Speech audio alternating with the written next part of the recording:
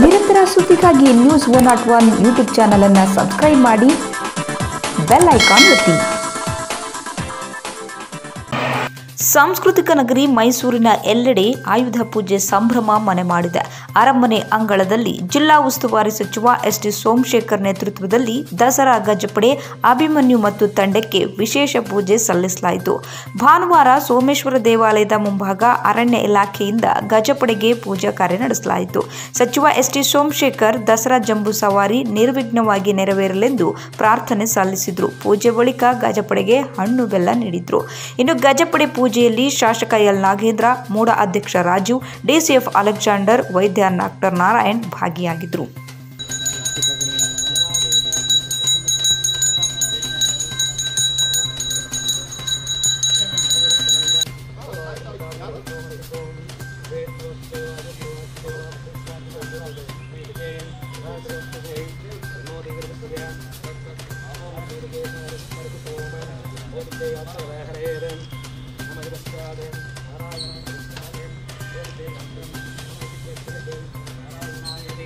రుద్రాక్షవాణి వేద శ్రీనారాయణ సాక్షి పదమ్మ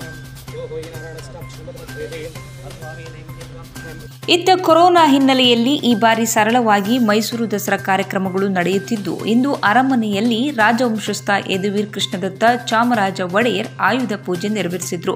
ಆಯುಧ ಪೂಜೆ ಹಿನ್ನೆಲೆಯಲ್ಲಿ ಮೈಸೂರು ಅರಮನೆಯಲ್ಲಿ ಬೆಳಗಿನಿಂದಲೇ ಪೂಜಾ ವಿಧಿವಿಧಾನಗಳು ನಡೆಯುತ್ತಿವೆ.